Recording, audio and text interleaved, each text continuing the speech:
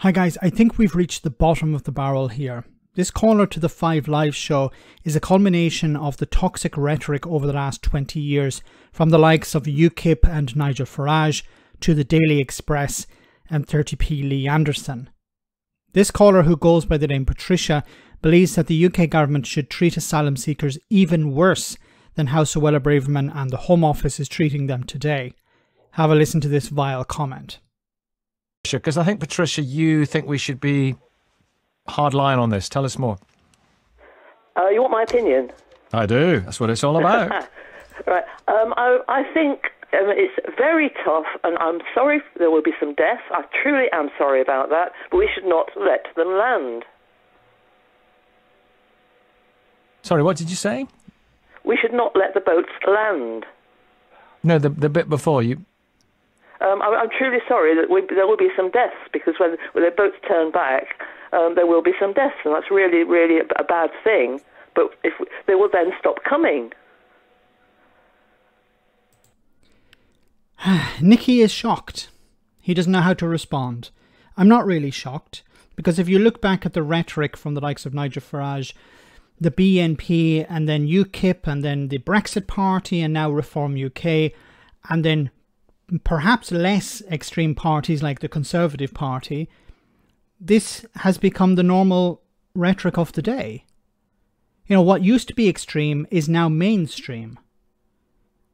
It was it used to be far right politicians in extremely fringe parties were talking about F, you know, telling refugees to F off back to France, not the deputy leader of the Conservative Party. And even if it was somebody in the Conservative Party, it would be maybe a councillor who would be shamed into resigning over this, or a, a, Tory party member, or perhaps even a backbench MP, not the deputy leader of the Conservative Party. But as I said, the rhetoric over the last 20 years has become mainstream. It's become normalized. Where you have where you get to a stage where a member of the public feels perfectly safe in the sense of not being ridiculed, to call into a national broadcaster and say, well, you know, I'm sorry if people will die, but the priority has to be to turn them back. Now, of course, the UK government can't do that.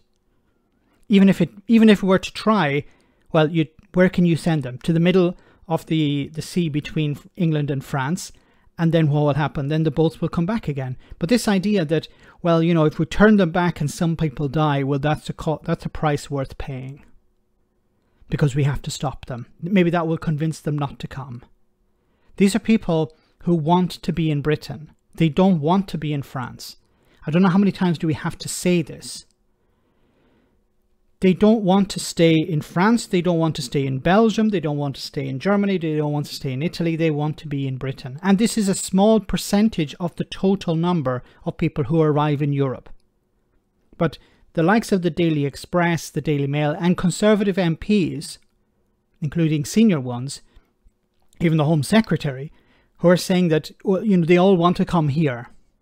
No, they don't. It's a very small percentage, and even that small percentage um, you're hearing calls like this. Turn them back. If they die, well, you know, maybe that will convince them not to come in the first place. Where do you go from here? Because I'm not hearing the the right wing media tone it down a bit. Unfortunately, I think it's going to get worse as we get closer to the election because many Conservative MPs feel they have nothing to lose. They, they're probably going to lose their seat, so they may as well go out with a bang or perhaps they're preparing for some job after Parliament, maybe working for GB News or Talk TV or something. So they know they have to grab as much attention as possible, promote themselves. And this is a good way to promote themselves, sadly. Let me know in the comment section, guys, what you think. As always, your comments are greatly appreciated. Thanks a lot.